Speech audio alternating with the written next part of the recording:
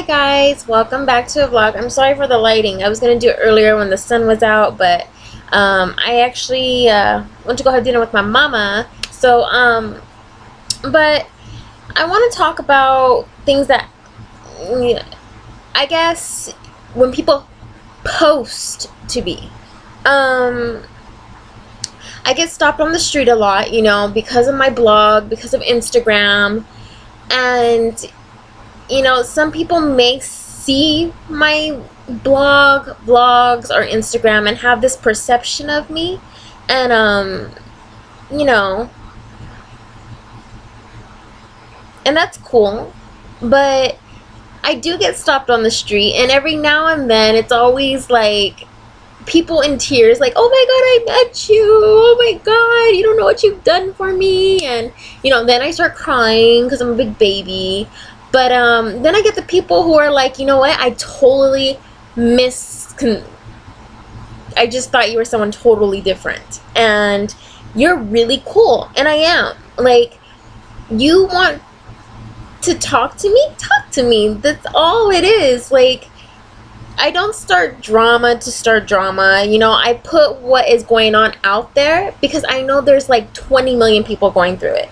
And um it's just my life, you know? And if I can tell my story and get it out there and save a life, totally. Or make someone feel less alone, I'm gonna do it. And, um, you know, my pain, I wear like diamonds around my neck. Really, I do. Because that necklace, each diamond is for someone who has said I made a difference in their lives. Now it's not the biggest diamond necklace, quote unquote, but you know, I take pride in knowing that my story or my situations help people. Um I am never mean intentionally. Um but I will say I was that girl who was just freaking mean at one point. In my early 20s after I broke up with my ex, um I just destroyed anyone and everyone. I was the girl who picked on girls, who made their life hell and did things to them. And I feel like women who do that are hurt women because I have been there. But, you know, today I got, oh my god, you're nothing like I thought you were. I'm so sorry. And I also got, oh my god, you're just like your Instagram. And I'm like, yeah, like who else am I supposed to be? I can only be me. I have highs, I have lows.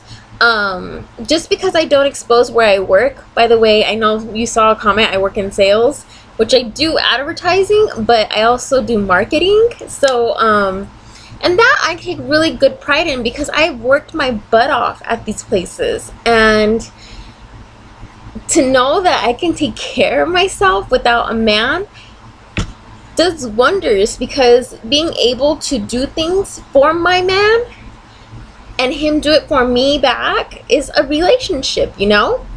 And to do things for my mom, take her out to dinner, you know, it's just, it makes me feel so good.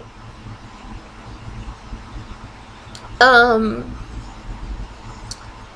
Sorry, someone was messaging me on Facebook. Um, so it makes me feel really good to know when people approach me or read my blog or see my vlogs, they say, you know what, that's Stephanie, that's who you get. Um, my boyfriend, when he first met me, was on my Instagram and he was like, you know what, you are just like your Instagram. And all my friends are like, you know what, that's Stephanie. And I guess what I'm trying to say is be who you post to be. If you're posting to be this one amazing person, try to do it, practice it. But you can't be the evil villain in real life and then post you're a Disney princess.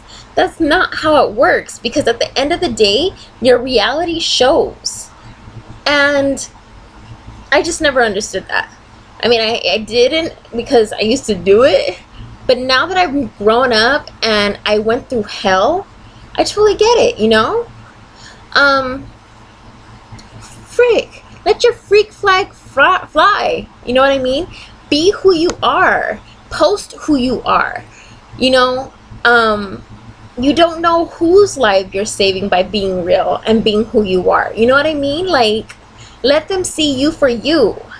And if you're gonna post you're an amazing person on Instagram, be that amazing person and never hurt anybody in reality. Um, hurt people hurt people.